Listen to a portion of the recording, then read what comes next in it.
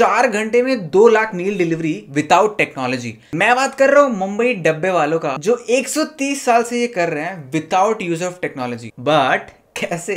Step one पाँच हज़ार लोग जो काम करते हैं, उनका सिर्फ़ यही काम होता है कि वो अपने असाइंड स्पॉट से डब्बा उठाएँ और टेन थर्टी एम तक के रेलवे स्टेशन पहुँच जाएँ। Step two they load all their lunch boxes in the train how do they keep track of it they use colour code to keep a track कि किसका सामान किधर रखा है। स्टेप नंबर थ्री साढ़े ग्यारह से बारह बजे तक के वो सारे डब्बे ट्रेन से ऑफलोड करते हैं। And by one P M they deliver more than two lakh dabbas simultaneously सिर्फ़ ट्रेडिशनल सिस्टम को यूज़ करके इतने पंचल होना बिल्कुल आसान नहीं है। हार्वर्ड बिज़नेस स्कूल ने इन लोगों पे केस स्टडी करी एंड उन्होंने रियलाइज़ किया कि इनका सीक्रेट है इनकी सिंप्लिसिटी में। Sometimes the best plan is the simplest.